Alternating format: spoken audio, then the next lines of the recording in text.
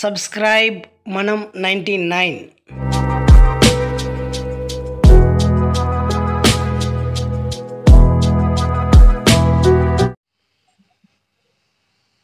మిత్రులందరికీ జై భీమ్.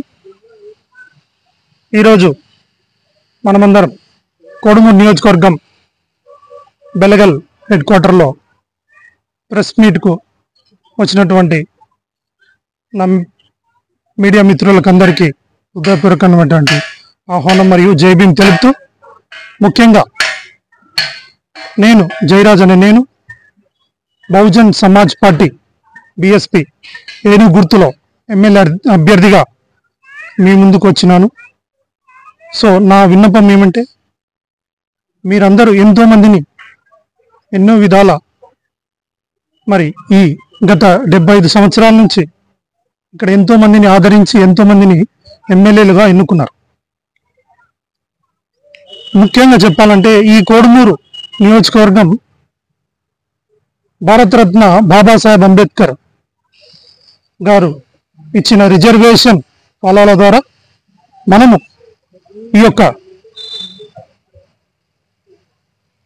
కోడుమూరు నియోజకవర్గంలో మరియు రిజర్వేషన్ పుణ్యాన బహన్ కుమారి మాయావతి గారి ఆశీర్వాదాలతో బహుజన్ సమాజ్ పార్టీలో నేను ఎమ్మెల్యే అభ్యర్థిగా పోటీ చేసే అవకాశం నాకు వచ్చింది ఇది పార్టీ ఆదేశాల నుంచి క్లియరెన్స్ వచ్చేసినాయి ఎస్ అవును. సో ఆ విధంగా ముఖ్యంగా నేను కోరుకోవడం ఏంటంటే నా బహుజనులందరికీ నా కోడుమూరు మండల్ మాయా పల్లెల ప్రజలందరికీ అదేవిధంగా బెలగల్ మండల పల్లెల ఆయా ప్రజలందరికీను మరియు గూడూరు మరియు కర్నూలు నాలుగు మండలాలకు సంబంధించి ప్రజలందరికీ నేను ముఖ్యంగా మనం ఏమంటే మనము బహుజనులుగా ఉన్న వాళ్ళము మనం ఎక్కువ మంది. ఎక్కువ మంది ఉన్నాం కాబట్టి మనమందరము మన రాజ్యాన్ని మన చేతుల్లో మన పరిపాలన మన చేతుల్లోనే తీసుకోవాలి. అది కేవలం బాబాసాహెబ్ అంబేద్కర్ గారి ఆలోచన ద్వారా వచ్చినటువంటి ఒక నినాదమే.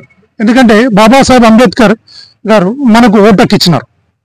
ఆ ఓటకు ఇచ్చినారు కాబట్టి ఆ ఓటకును మనము ఎంతో ఆలోచించి ఈ అమూల్యమైన ఓటును ఈసారి బహుజన్ సమాజ్ పార్టీ ఏను గుర్తుకు మీరు ఆదరించి ఆశీర్వదించి ఈ ఇప్పుడు ఇరవై నాలుగులో మరి జరగబోయే ఎలక్షన్లలో మీరు మీ అందరి అమూల్యమైన ఓటును ఏను గుర్తుకు వేస్తారని నేను ప్రతి ఒక్కరికి పేరు పేరున అమ్మలకి అక్కలకి పెద్దలకి చెల్లెలకి మరియు అన్నదమ్ములకు వృద్ధులకు వయోవృద్ధులకు మరి ఎంతోమందికి ఉపాధ్యాయులకు మరి ఆయా ప్రైవేట్ కార్మికలో పనిచేసే నా ప్రతి ఒక్క బహుజన బిడ్డలకందరికీ నేను కోరుకుంటున్నాను ఏంటంటే మనం బాబాసాహెబ్ అంబేద్కర్ పుణ్యాన ఈ యొక్క రిజర్వేషన్ ద్వారా మనము ఇక్కడ మనం ఈ కోడుమూరును గెలిపొందుకొని స్వతంత్రంగా ముఖ్యంగా మనకు కావాల్సింది ఏంటంటే సామాజికమైన స్వతంత్రము. ఆర్థికమైన స్వతంత్రము రాజకీయమైన స్వతంత్రం. ముఖ్యంగా సామాజిక స్వతంత్రం అంటే మన కుటుంబాలు సామాజికంగా అభివృద్ధి పొందినప్పుడే సామాజిక స్వతంత్రం. నువ్వు ఎన్ని నవరత్నాలు ఇచ్చినా ఎంత ఉ- ఉచిత పథకాలు ఇచ్చినా దానివల్ల ఆ కుటుంబాలు ఎప్పటికీ బాగుపడవు. ఎందుకంటే సామాజికంగా మనము ఎప్పుడు అభివృద్ధి చెందుతామంటే మనము రైతులుగా ఉన్న ప్రజలు మరి వాళ్ళకి కావాల్సిన ముఖ్యమైనటివి నీళ్ళు మరి ఆర్డిఎస్ కాలాల ద్వారా ఆర్డిఎస్ నీళ్ళ ద్వారా మన రైతులందరూ ఇక్కడ బాగుపడితే ఆ నీళ్ళు మనకందరికీ వస్తే మనమందరం ఆ కుటుంబాలలో మరి ఎంతో ఉన్నతమైన స్థితికి వెళ్తాం. ఎందుకంటే అగ్రికల్చర్ డెవలప్మెంట్ ముఖ్యంగా కావాలా. ఆ అగ్రికల్చర్ డెవలప్మెంట్ లేదు. తర్వాత ఇండస్ట్రియల్ డెవలప్మెంట్. ఇండస్ట్రియల్ డెవలప్మెంట్ కూడా లేదు. పారిశ్రామిక డెవలప్మెంట్ ఎక్కడ లేదు. ఇప్పుడు కోడమూరు నియోజకవర్గంలో చూసుకుంటే ఏముంది? ఏమి? అంత కాంట్రాక్ట్లే ఉన్నాయి. ఆ కాంట్రాక్ట్లు ఎవరి చేతుల్లో ఉన్నాయి? మీకు అందరికి చెప్పే అవసరం లేదు. ఎందుకంటే మీకు అందరికి ప్రతి ఒక్కరికి తెలుసు. ఎందుకంటే ఈ రిజర్వేషన్ స్థానంలో ఏ రిజర్వేషన్ పుణ్యాన బాబాసాహెబ్ అంబేద్కర్ పుణ్యాన మన మధ్యలో మన మన వాళ్ళందరూ మరి ఎమ్మెల్యేలుగా గెలిచిన వాళ్ళందరూ మరి వాళ్ళు ఎంత సమర్థవంతంగా మరి పనిచేస్తున్నారు మన యొక్క ఫలాలను మనకే ఇచ్చే విధంగా పనిచేస్తున్నారా లేదా అని అది మీరందరూ గమని మీరు మీరు ఒకసారి గ్రహించాల. నేను ముఖ్యంగా నేను ఒక విజ్ఞప్తి ఏంటంటే మనము ఆర్థికంగా ఎక్కడున్నాం? ఆర్థికంగా ఇంకా ఇంకా చితికిపోయిన మన మన బతుకులు. సుగ్గిల పేరు మీద బతుకుదొల్లుల పేరు మీద. ఇంకా ఇంకా ఇంకా ఇంకా మన రాష్ట్రంలోనే మనము గుంటూరుకో ఆయా విజయవాడకో ఆయా పల్లెలకో లేదంటే పక్కన మన తెలంగాణ హైదరాబాద్ అట్లా పల్లెలకు మనం సుగ్గిల పేరు మీద మనం వెళ్తున్నాం మన పొట్ట చేత పట్టుకొని. దీనాది దీన స్థితిలో పగలనక వాననక రేయనక ఎండనక మనం నిరంతరము ఇట్లా ఆర్థికంగా చితికిపోయి ఉన్నాం కానీ మనకు ఏ పథకాలు కూడా మనల్ని బాగుపరచలేవు. ఎందుకంటే నేను ముఖ్యంగా అడుగుతున్నది ఏంటంటే ఏ ప్రభుత్వాలు ఉన్నా కానీ ముఖ్యంగా సామాజిక ఆర్థిక రాజకీయంగా స్వతంత్రంగా వాళ్ళు పనిచేసినప్పుడే సమాజంలో ఒక మంచి సమాజాన్ని నిర్మిస్తాం. ఎందుకంటే బాబాసాహెబ్ అంబేద్కర్ అదే కలలు కన్నాడు. ఎప్పుడైతే రాజ్యాధికారం మన చేతిలో ఉంటుందో మరి రాజకీయంగా రాజ్యాధికారం మరి ఇక్కడ బహుజన బిడ్డలైన మరి ఇక్కడ ఇక్కడ రిజర్వేషన్లో మరి వాళ్ళు గెలుపొందిన బిడ్డల దగ్గర ఉందో లేదో మరి మీ అందరికీ బాగా ముఖ్యంగా తెలుసు. ఎందుకంటే వాళ్ళు ఎంత సమర్థవంతంగా పరిపాలిస్తున్నారని. రాజకీయంగా మరి మనం ఎక్కడున్నాం? మనకి ఎన్నో కాంట్రాక్ట్లు మనకున్నాయా? ఎన్నో లీజ్ కాంట్రాక్ట్లు మనకున్నాయా? ఎన్నో మైనింగ్ కాంట్రాక్ట్లు ఎవరెవరుకున్నాయి? ఇవన్నీ మీరందరూ గ్రహించాలి. ఎందుకంటే ఇది ఖచ్చితంగా ఖచ్చితంగా బహుజనులకే దక్కుతుంది. ఇవన్నీ సమర్థవంతంగా పరిపాలించే పార్టీ ఏదైనా ఉందంటే అది బహుజన్ సమాజ్ పార్టీ ఒక్కటే.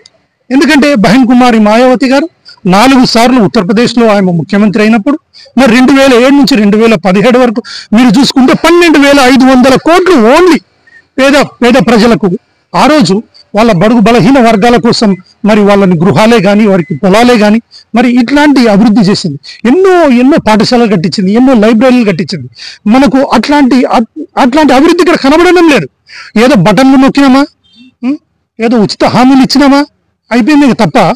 మనమేమి అడుక్కోవడానికి ప్రతి నెల మనమేం బిచ్చగాలం కాదు. ఎందుకంటే ట్యాక్సీల పేరు మీద మరి అన్ని మనము మరి ప్రభుత్వానికి కడుతున్నాం. మరి వీళ్ళు ఆ ఆ పథకాలన్నీ వాళ్ళ పేర్లు పెట్టి వాళ్ళ జేబుల్లో నుంచి ఏమైనా ఇస్తున్నారా ప్రభుత్వాలు ఏమన్నా? ప్రతి ఒక్క పౌరుడు పెట్రోల్ రూపంలో డీజిల్ రూపంలో ఇంటి రూ- ఇంటి గుత్త రూపంలో ట్యాక్స్ రూపంలో అన్ని కలెక్ట్ చేసి ప్రభుత్వం దగ్గర పోతే ఆ డబ్బుని తిరిగి మాకు ఇవ్వడానికి మీ మీ పేర్లు ఎందుకు? దీన్నైతే మేము సహించేది లేదు. బహుజన్ సమాజ్ పార్టీ తరఫు నుంచి మేము ఖచ్చితంగా దీన్ని ఖండిస్తున్నాం.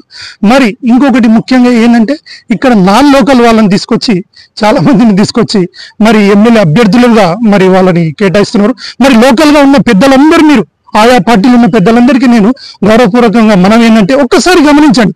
మనమందరం ఒకటైనాం.